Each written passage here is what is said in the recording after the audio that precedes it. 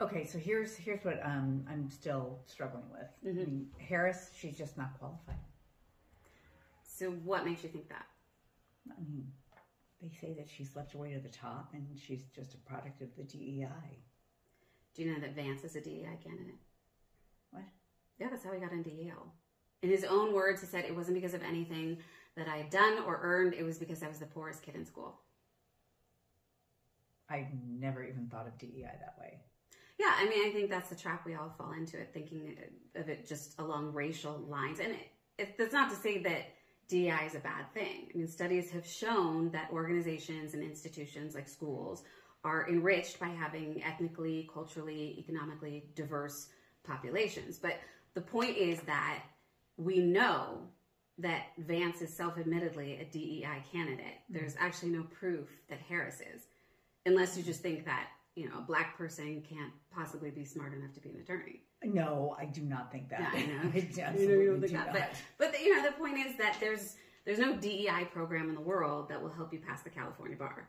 It's the toughest in the nation. It's got a pass rate of like 34 percent, and there's also no way to sleep your way to a passing grade on that one. okay, I guess that's true.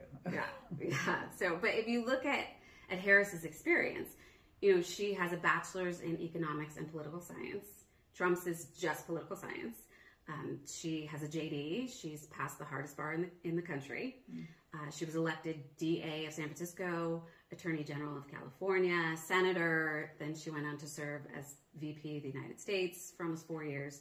You know, not to mention you know all the other appointments um, that she's held and been given. So I mean that's that's quite a bit more experience than Trump had when he took office.